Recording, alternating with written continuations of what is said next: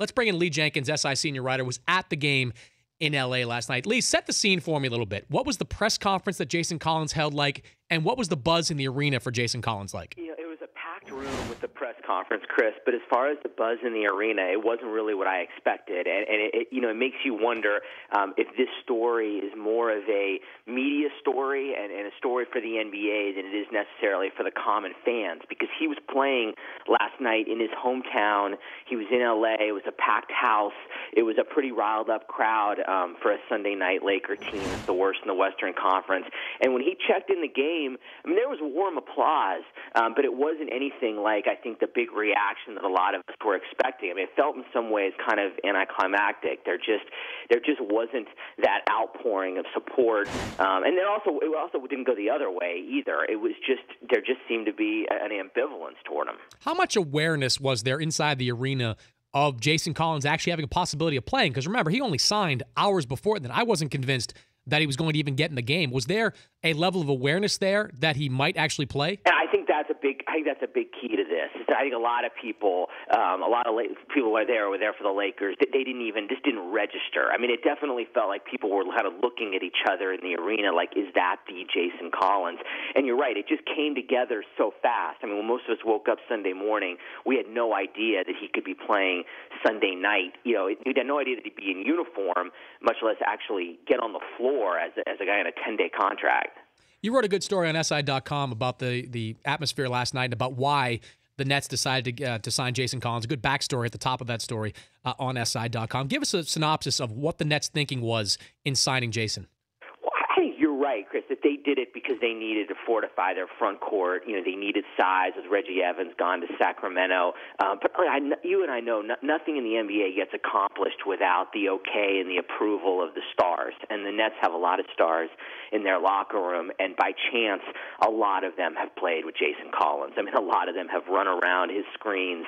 He's kind of freed them up and put them in ideal situations throughout their individual careers. And I think in some ways, this was a chance to return a favor and to do right by a, a teammate, by an old friend. Um, and I think that the the word that came to Jason Kidd and came to the Nets front office from those stars is that they weren't just ready to do this, that they wanted to do it. There was an eagerness um, to embrace this guy and to kind of own a little bit of history.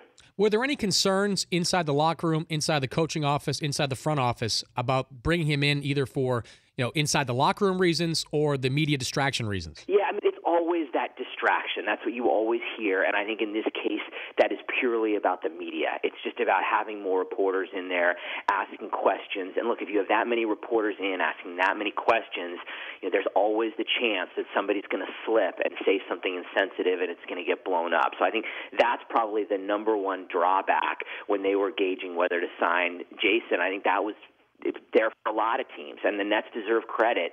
I think for being the one franchise that was able to take that on and able to absorb, you know, the th- that that very minor threat in the grand scheme of things. Who were some of Jason's biggest advocates within that Nets organization?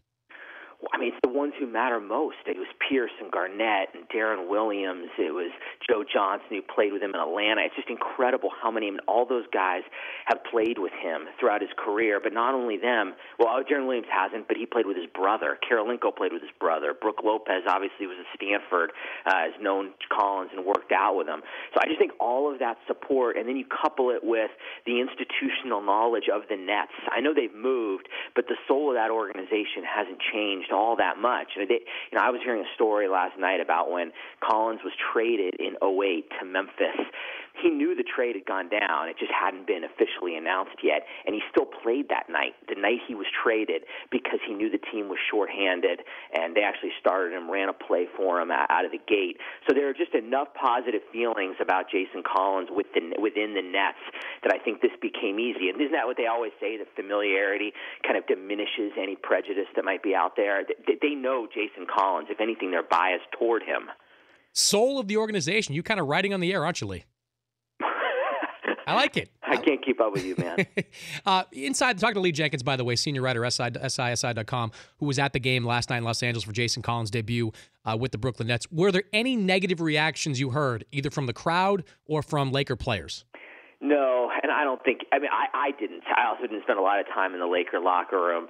I think it's going to be hard for anybody to hear a, a, any of that because I think in this day and age, players know, especially ones who are in the NBA, uh, know that any comment that's seen as uh, anything other than supportive is just going to get completely blown up, and that player is going to become potentially a national pariah. So I, I wouldn't expect to hear any of that. Um, but look, with the time and the media scrutiny on him, it, it's possible. It, it's going to be interesting, Chris, to see whether this coverage sustains itself. Like Collins was talking about last night, in this day and age, the, the news cycle changes so quickly. He thinks people will move on from his story uh, rather soon. That it'll go back with him to Brooklyn when the team goes home, and then it'll kind of wane from there. And I'm curious to see if he's correct. Good to talk to you, Lee. Thank you. Thanks, Chris. Take care, man.